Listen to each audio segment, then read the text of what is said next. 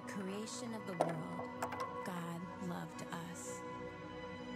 In the warmth of a sunrise, in the rainbow after a storm, through signs and wonders, promises and dreams.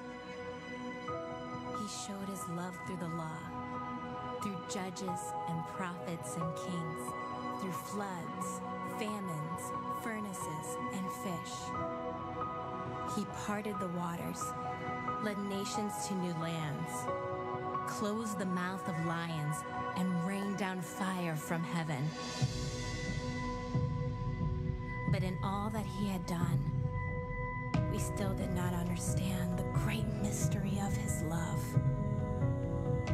So he did something we never imagined. He grew silent. But in the silence, he was preparing us.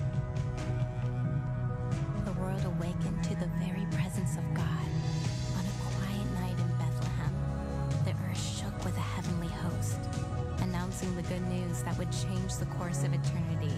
God's only Son, perfect and holy, will come down to dwell among us. But how would he come? A brave warrior like Joshua? A triumphant king like David? A bold prophet like Elijah? No. In God's infinite kindness, He chose a humble baby, our infant God, here with us. This is the mystery of Christmas. And now, our hearts are bursting with joy.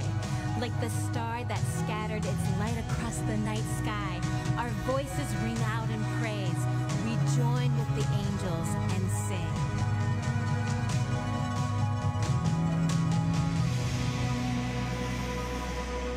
This divine gift of God, asleep on the hay, has come. A gift of love for you and for me. What a glorious mystery. Merry Christmas, Community Church.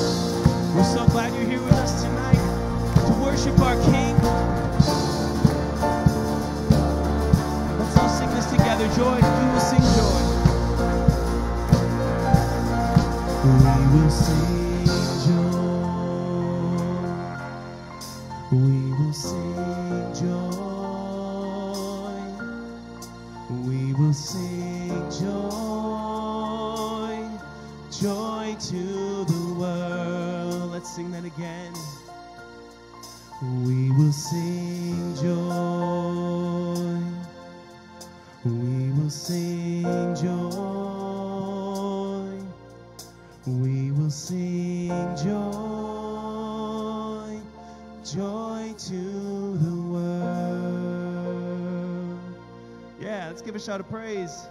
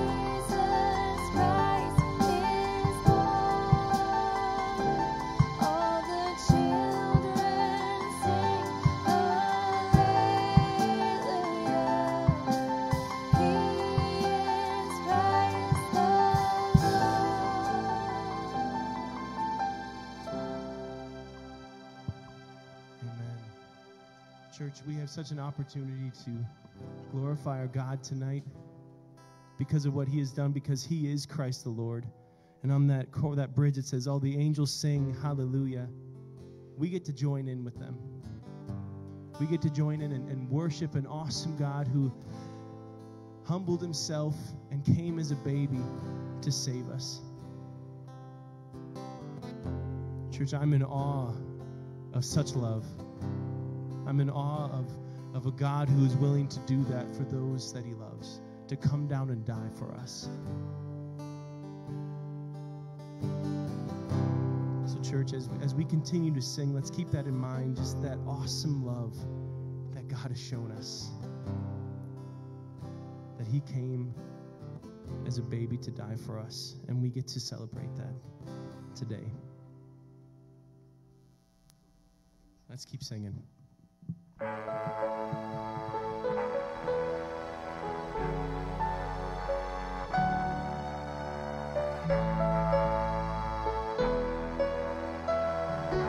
Away in a manger.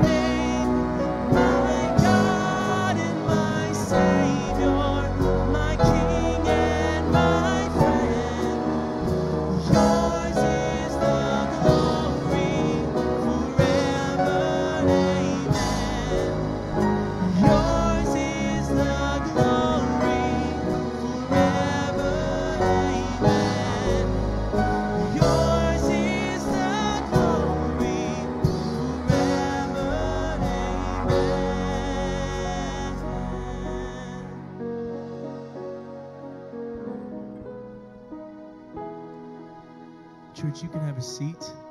The ushers can come forward for offering. Lord Jesus, we are so in awe of you.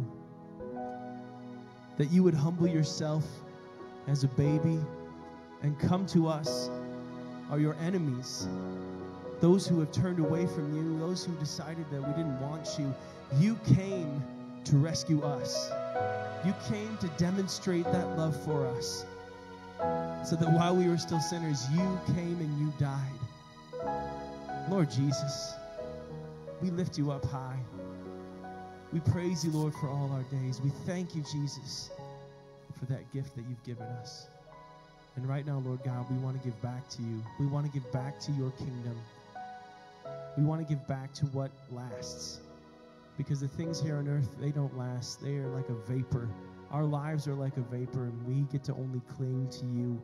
So, Lord God, we give unto you, Lord Jesus, because you are worthy of it. So, Lord, I pray over this offering, over this gift, that you would use it for your glory, for your honor alone. We love you, Lord Jesus, and we just pray this in your name. Amen.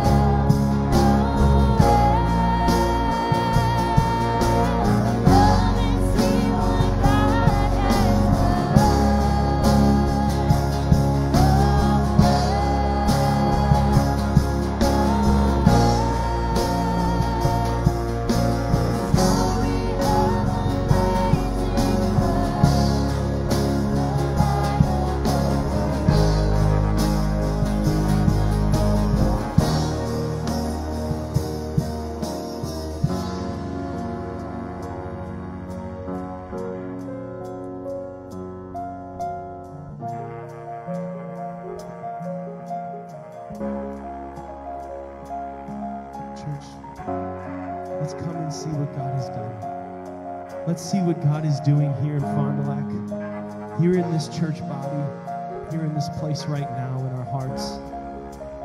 We surrender to you, God. When we sing Noel, we will come and we will be a part of what you're doing. Let's sing it.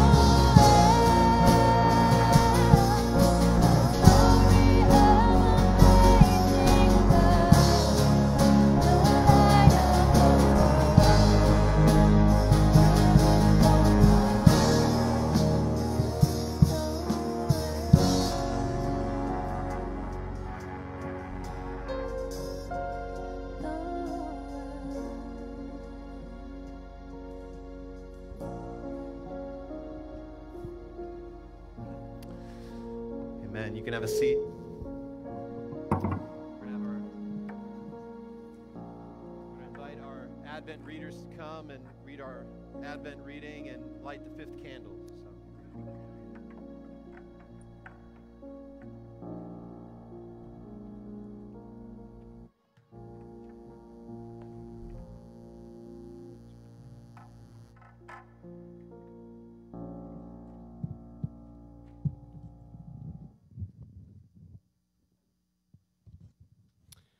Welcome, everyone. We are the Gumnus family.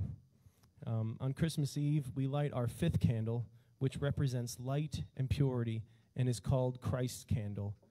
In lighting it, we celebrate the coming of our Savior and King.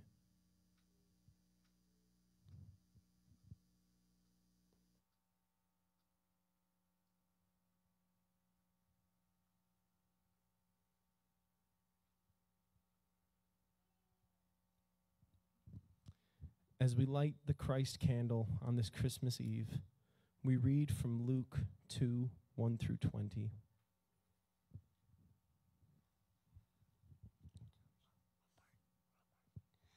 And there were shepherds out in the fields nearby, keeping watch over their flocks by night. Suddenly, an angel of the Lord appeared to them, and the glory of the Lord shone around them, and they were afraid. Fear not, the angel said. I bring you good news of great joy, though for all people. For unto you is born this day in the city of David a Savior, who is Christ the Lord. This will be a sign unto you. You'll find the baby wrapped in cloths and lying in a manger. And suddenly a great company of the heavenly hosts appeared with the angel, praising God and saying, Glory to God in the highest, and on earth peace to men on whom his favor rests. Please join us in prayer. Gracious and mighty King, we remember your goodness to us as we celebrate the triumph and joy of Christmas. As your love has been revealed in all of its fullness, we pray that love may abound in our hearts on this special day. Grant us the Spirit of Christ that we may live in the fullness of his character every day. In his holy name we pray. Amen.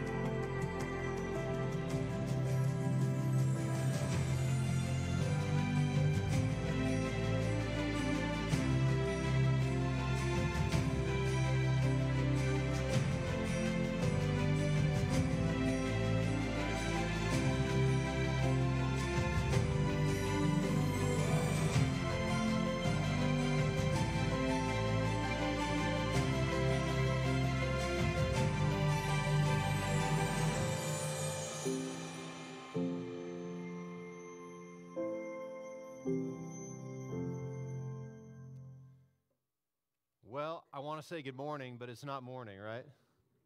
Oh, we'll get some lights here. Yeah, that feels better.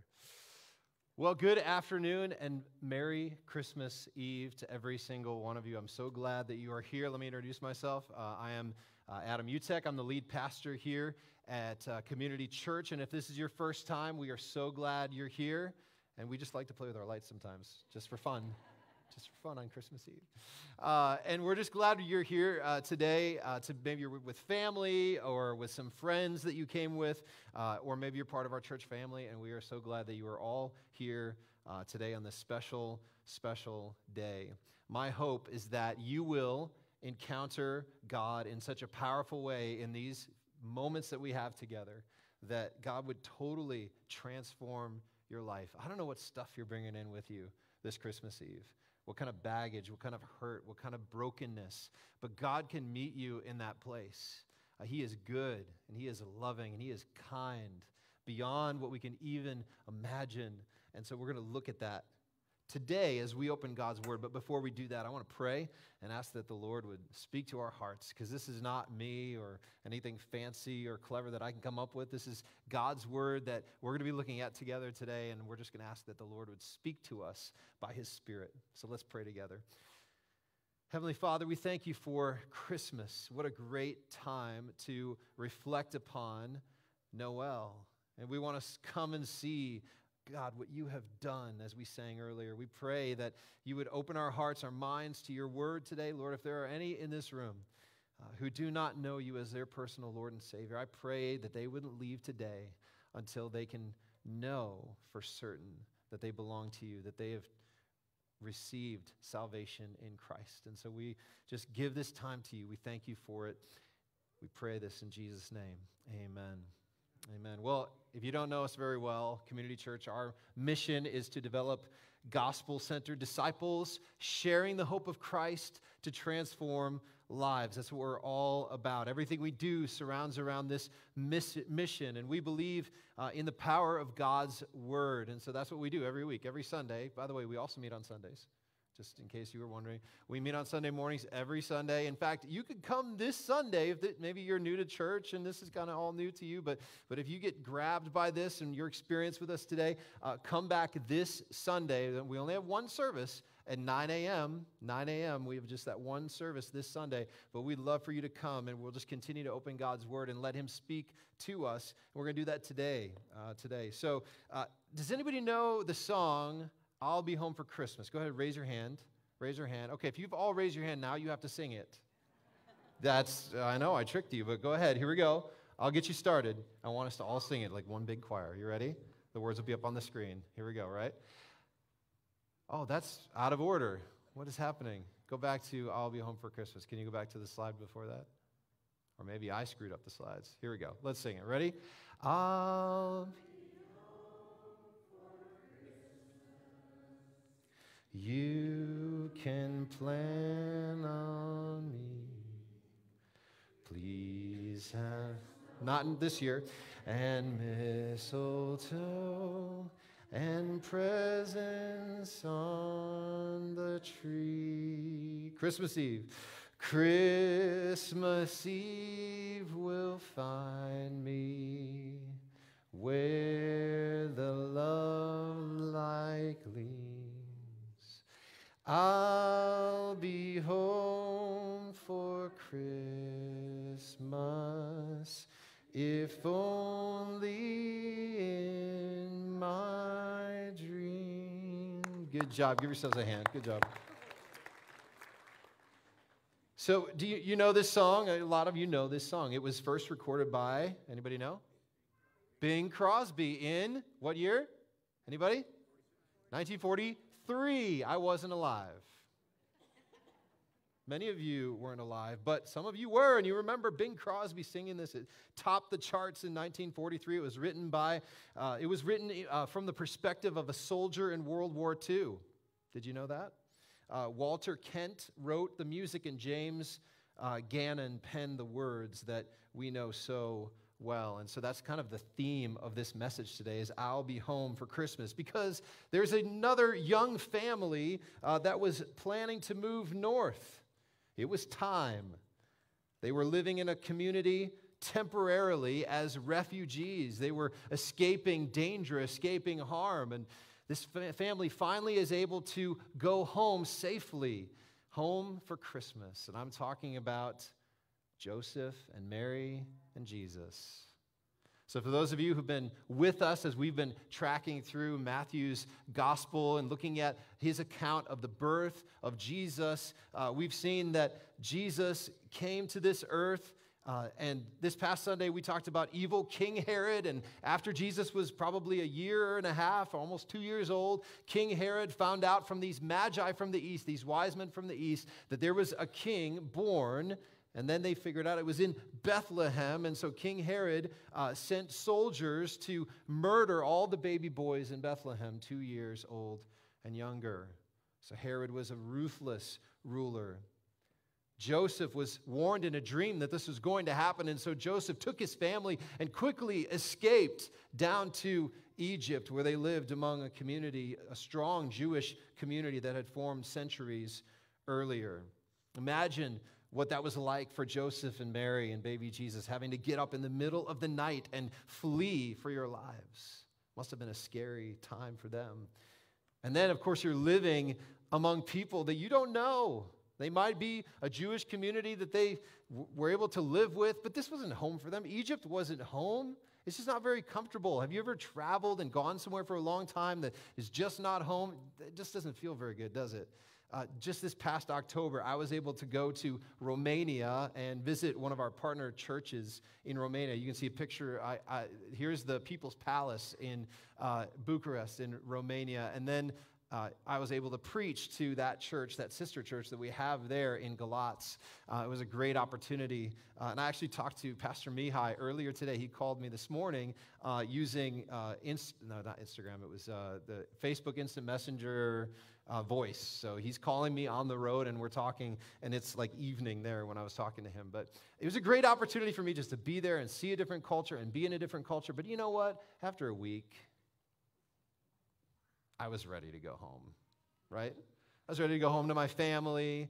I was ready to go home to my kind of food. I was ready to go home to my culture, my language, my currency, and yes, my time zone. Right? Uh, you just, you know how it is if you travel a long way and you, you just don't want to stay there. You want to go home. And I think that's what it was like for Joseph and Mary and Jesus. Joseph and Mary, especially, they wanted to go back to Israel. That was where they were from. That's, those are the people they knew. They had family and friends there. So now the wait is over, and they're going to be home for Christmas. And that leads us to our text today. So if you have a Bible, we're going to look at Matthew chapter 2. So if you have a Bible with you, you can turn to Matthew chapter 2, or you can open up this uh, handy dandy thing called a smartphone. Have you ever heard of this? It's this new invention. I'm just kidding. Uh, you can open up your smartphone if you have a Bible app and you can follow along in Matthew chapter 2. We're only going to look at a few verses here uh, this afternoon. Matthew chapter 2, verses uh, 19 through 23.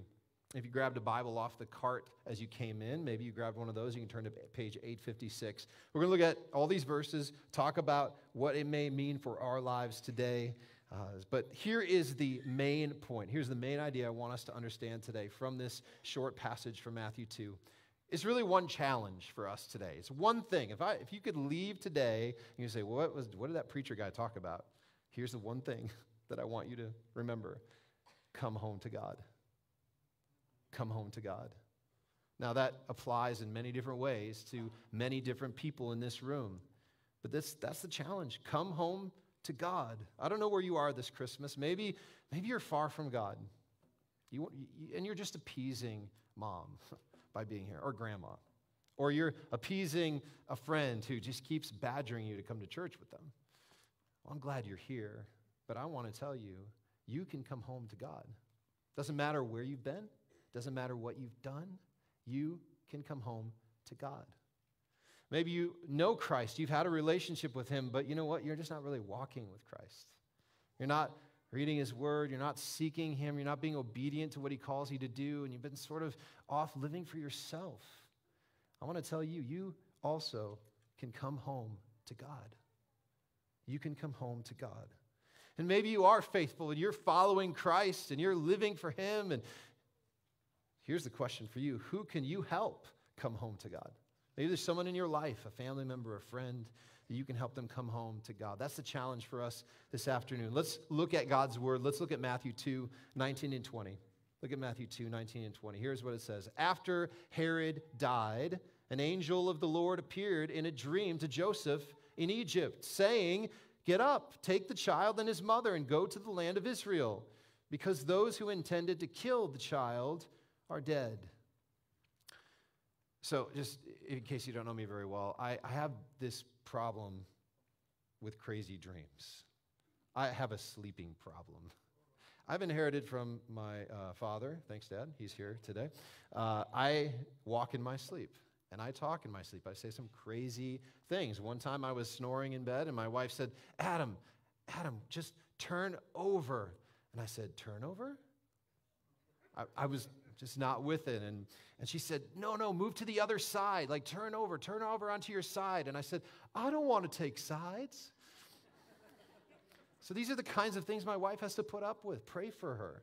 Uh, in fact, when I was in college, true story, when I was in college, my roommate saw all kinds of crazy things, uh, weird things. I hid under my own desk for no apparent reason in my sleep. Uh, all kinds of weird things that some of my, my, uh, guys on my floor would ask my roommate. So, so Andy, did, did anything happen last night? Anything exciting? Any stories to share?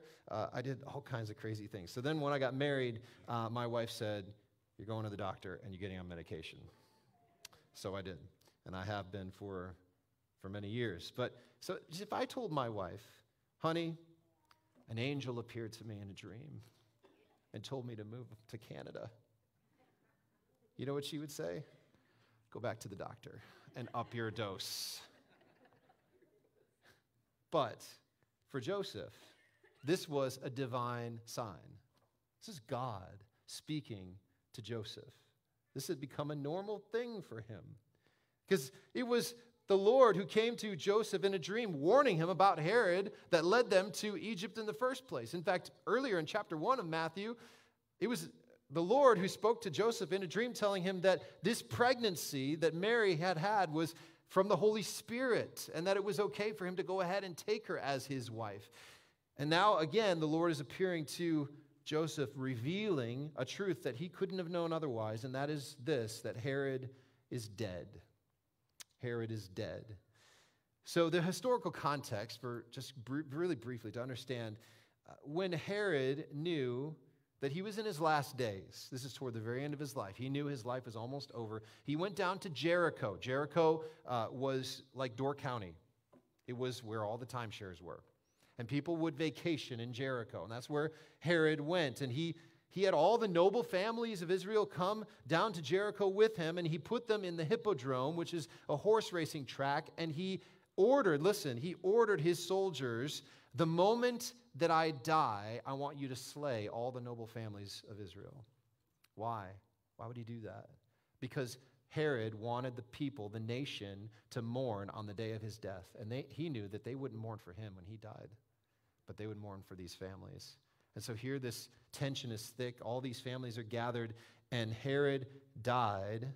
Thankfully, the soldiers didn't obey Herod's orders. So when he was dead, they opened the hippodrome, and all the families were released, and no one was killed. And then Herod's will was read publicly, and his son Archelaus was hailed as king. And that's important because we're going to come back to that. But because Herod had died, it's safe now for Joseph to bring his young family back to Israel. So they'll be home for what? Christmas, right?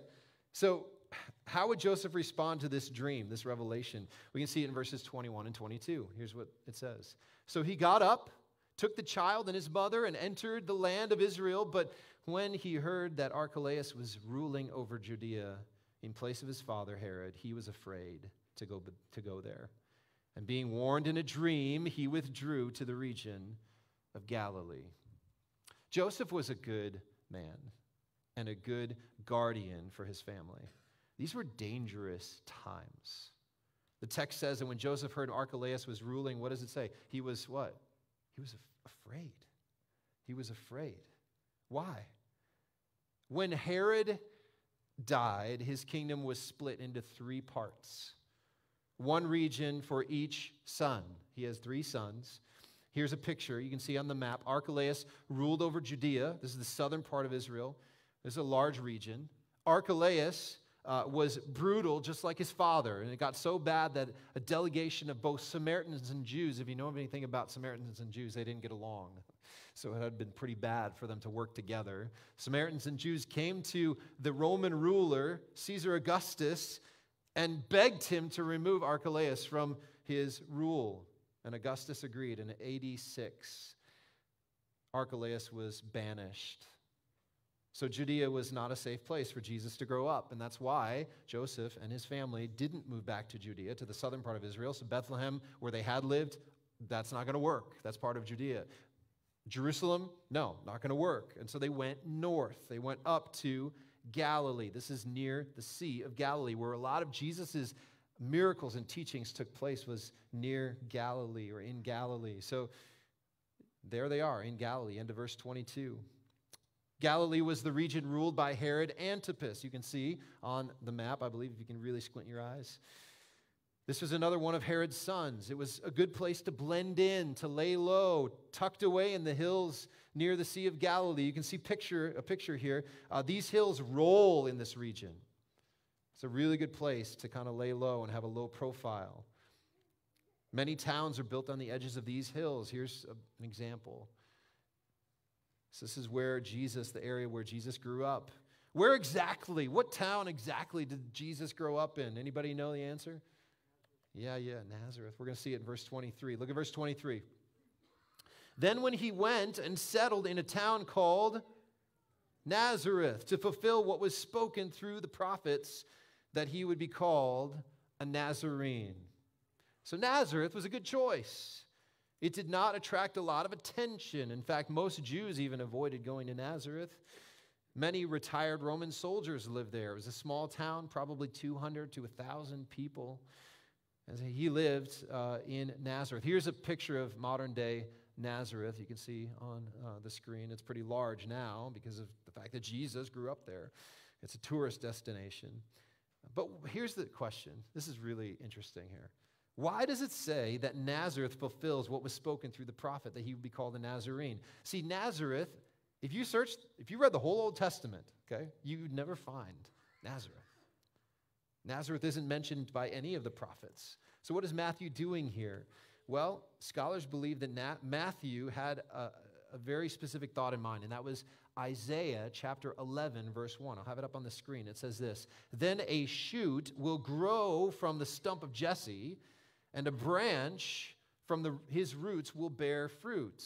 So the word branch in Hebrew is Nesser. Nesser. Nessereth. Anybody catch that? You, you hear it? Nessereth. Nazareth. That's the, what Nazareth was nicknamed. In fact, the town of the branch. You could call it the town of the branch. Now, notice in Isaiah 11 1, this mentions that the branch traces to who? To Jesse, who is the father of David, in whose line Jesus came. We can see that in the beginning of Matthew chapter 1. So, Nazareth was a town of ethnic diversity. People came to live there, and in fact, the enemies of the Jews lived there. Some, like I said before, some retired Roman soldiers lived there, and many other Gentiles lived there. So in John's gospel, there's a little interaction about Nazareth. Philip goes and tells Nathanael that the Messiah, the promised one, had come and that he was from Nazareth. And so, what did he say? What did Nathanael say? He said, Can anything good come out of Nazareth? It's like, can anything good come out of Wautoma? Now, if you're from Wautoma, you're the exception, all right? I actually looked up this week just to get an example, and I found that Wautoma is like the third worst place to live in Wisconsin or something like that. Anyway, I know. Whoa, anybody from Wautoma? I'm gonna really get in trouble, but but that's what it was like. It was like, oh, can anything good come from Wautoma? Anything good come from Nazareth? And what did Philip say? Do you remember? I just love it. He says to Nathanael, Come and see. Come and see. See for yourself. He did, and his life was forever changed. Jesus came to provide the way for us to come home to God. Perhaps you need to come and see for yourself. You need to come and see Jesus this Christmas. You need to come home to God. See, Jesus fulfills all the prophecies in the Old Testament, which is incredible, amazing. It's not a coincidence. He lived, in fact, a perfect life, fulfilling the law. He did what we could not do. He succeeded where we failed because all of us have sinned. Every single one of us in this room, we've sinned. We've chosen to sin. We were born into sin. And you might say, well, I'm not that bad. I'm not a murderer like Herod. Boy, he is bad, right? He was a sinner. Uh, hell isn't for, for me. I mean, hell is for really bad people like Herod or Archelaus. But here's the problem how bad is too bad to be condemned? Or, on the other side, how good is good enough to be accepted by God? And is it really up to us to determine who is worthy of eternal life with God? The Bible is actually very clear about our status when we stand before God. Romans 3:23 says, "All have sinned," and what does it say? "And fall short of the glory of God." Even our good works, all the best efforts that we can bring to the table are described in Isaiah 64 as polluted garments filthy rags. Listen to what Isaiah 64 6 says. All of us have become like something unclean, and all our righteous acts are like a polluted garment. All of us wither like a leaf, and our iniquities carry us away like the wind. See, our sin against an infinitely holy God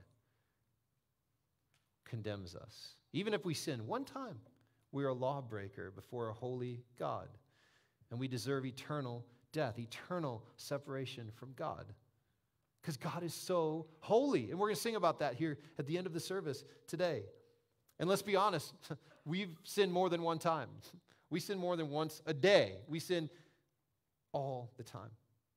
We've chosen to go our own way and we've decided to follow our own desires, not God's. We sin a lot.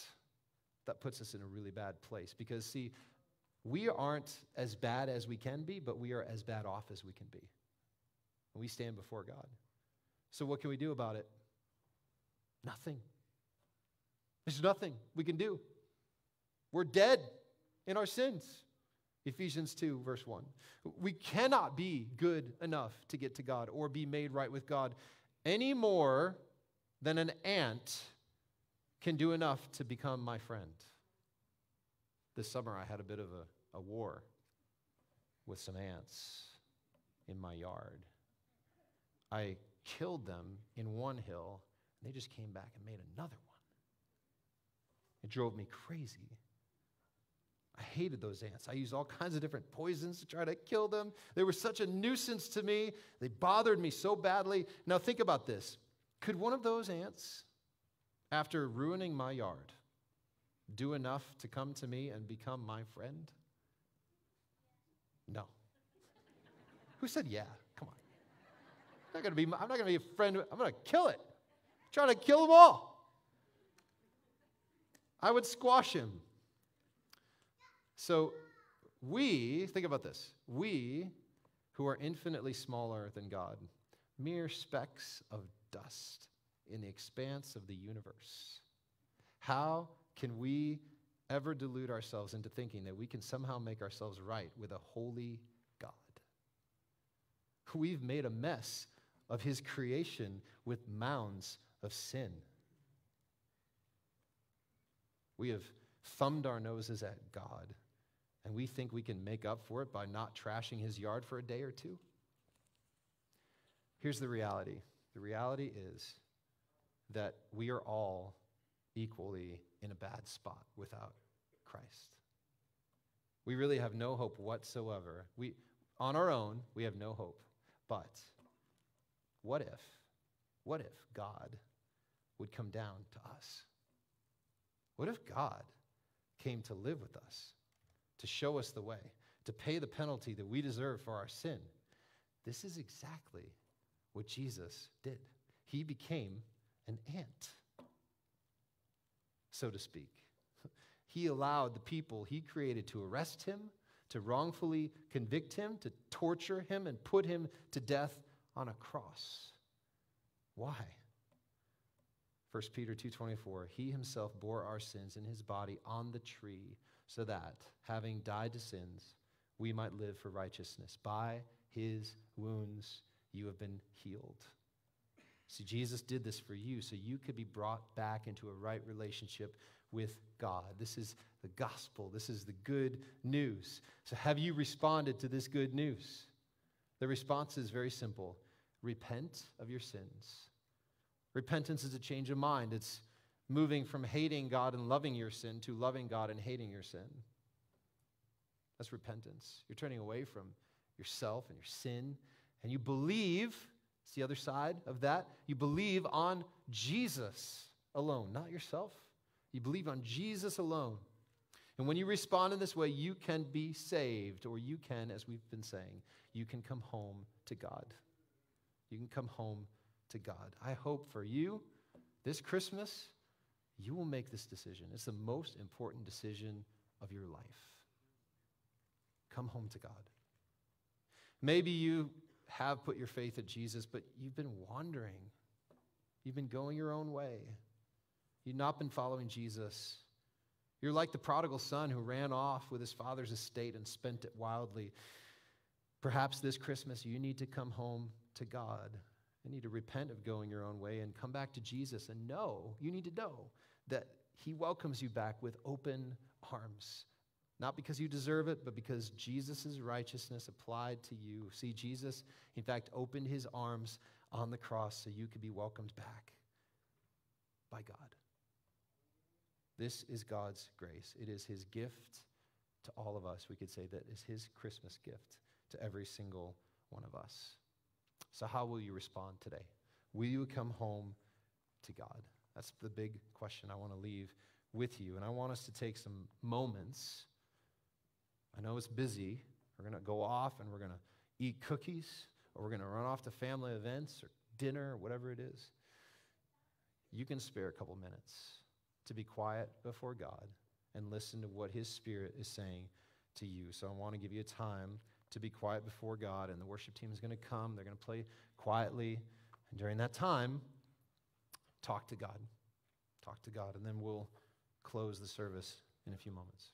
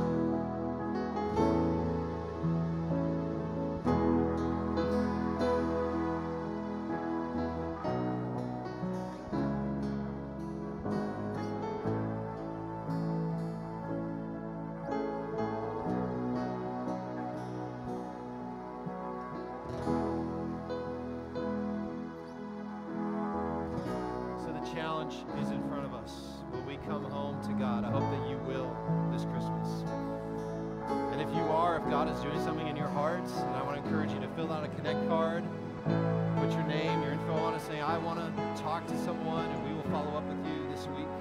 Come back this Sunday to our Sunday morning service. But let me pray, and then we'll be dismissed as we sing together. God, you are so holy. You are so powerful and so awesome. And we give you the praise and you the honor. Be glorified as we go from this place. We thank you so much, God, that you have come to save us. In Jesus' name we pray.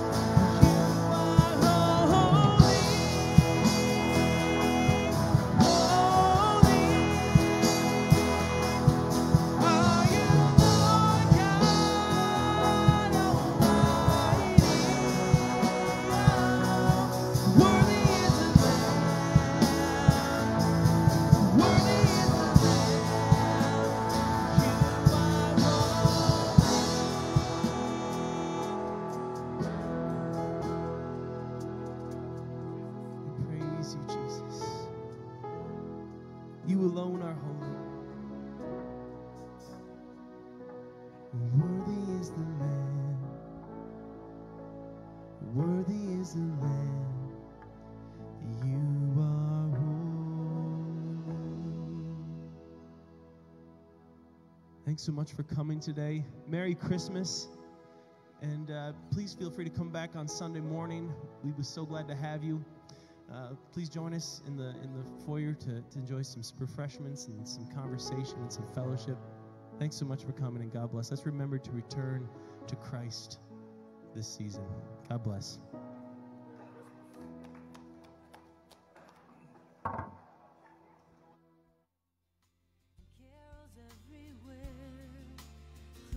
Eyes, it's almost here.